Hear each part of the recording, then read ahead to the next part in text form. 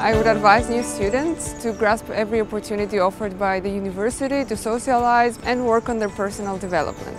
Go join a student association or study association or sports association, anything you like, because you will develop your soft skills next to all the things you learn here on the Tilburg University.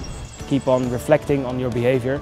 Uh, that way you'll learn the most out of everything you do here at university. For everybody, there's the perfect association. Be open-minded. Uh, sometimes certain activities or committees doesn't seem to suit you, but you only know for sure when you have tried it. Try to build up a network beside your study and have a lot of fun. Really look around the university uh, further than only your study uh, to develop yourself. So maybe you can join IESN, it's an International Students Association. I had a lot of fun there. I gained a lot of experience there as well.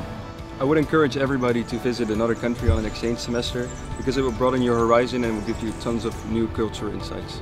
We have uh, really a lot of uh, international students so we can see different perspectives from different culture as well. If you're up for the challenge, make sure you participate in an honors program. Find some student jobs that suit you. When you first arrive in Tilburg, it's probably going to be super overwhelming, but don't be afraid to uh, look out for all the different things out there. It's up to you how um, yeah, busy you will make it for yourself.